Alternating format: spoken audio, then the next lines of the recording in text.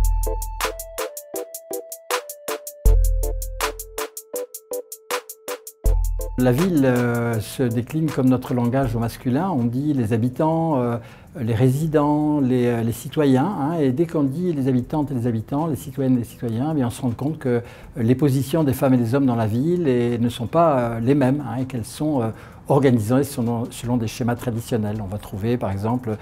plus fréquemment les femmes à la sortie des écoles ou dans des lieux d'approvisionnement et puis les hommes sur les terrains de sport par exemple. Donc cette, cette question est est importante pour avoir une ville qui soit égalitaire et démocratique. Alors moi je suis plutôt de ceux qui ont une vision critique sur la, ville durable hein, et c'est euh, bon, personne ne nie qu'il faut euh, réduire le nombre de particules, qu'il faut également euh, supprimer la dangerosité de la ville, hein, qui est représentée par la voiture, ou même le, temps perdu dans les embouteillages. Mais dans nos, travaux de recherche sur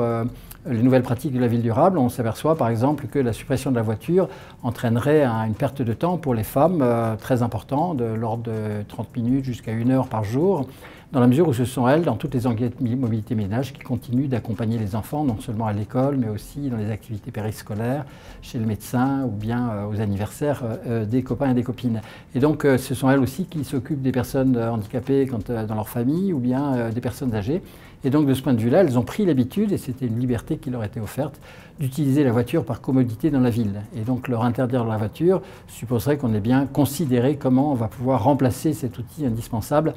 de la polymodalité des femmes.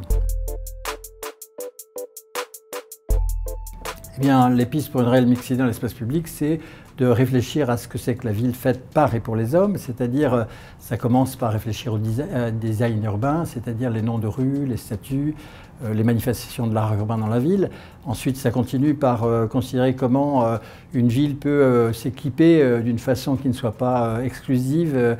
par des skateparks, des city-stades, des terrains de boules et des grands stades qui soient dans les fêtes uniquement masculins, mais par des espaces ouverts hein, dans lesquels les gens puissent se mélanger. Ça signifie également euh, une citoyenneté spatiale de jour comme de nuit, c'est-à-dire qu'on puisse euh, utiliser la ville, s'y déplacer, en jouir, aller aux manifestations le soir, quelle que soit l'heure, sans être inquiété parce qu'on est une femme, hein, notamment par, en luttant contre le machisme et le harcèlement sexuel.